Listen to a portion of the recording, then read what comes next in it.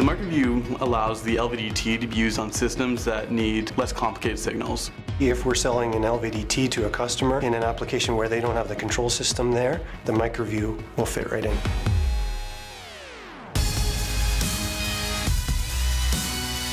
The MicroView is a good standalone solution for integrating into existing equipment. On a small machine that maybe either doesn't have the PLC horsepower or maybe doesn't have the PLC at all, we're able to add that detection system in so that the customer can safeguard that simple process but still have the same quality out of that machine. It's a two-channel device, so you can have one MicroView handling two different analog inputs. It can handle lasers, LPTs, and any other 0 to 10 volt analog input.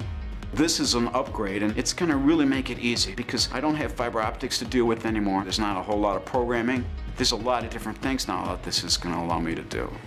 The nice thing about the MicroView is it's a completely sealed device, so it's NEMA rated. You can mount this anywhere, so it's very flexible and very robust.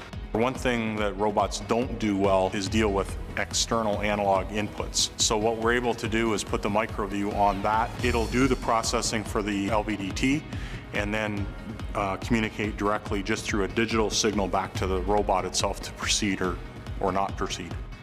It's also a good tool where you may have less skill sets where you don't have high-end technicians. This allows those programming changes that would typically happen in the PLC to be done in the MicroView instead with a very user-friendly interface. It walks you through the the steps of how to set it up and so on and as it's reading what it's doing it's actually showing you on the screen what it's seeing as well. A lot of your smaller shops or the tier ones, now they have a solution. It saves them money up front. They're not buying all this expensive equipment. Plus, if their detection systems are better, their quality is better, their chances of getting more work is going up significantly.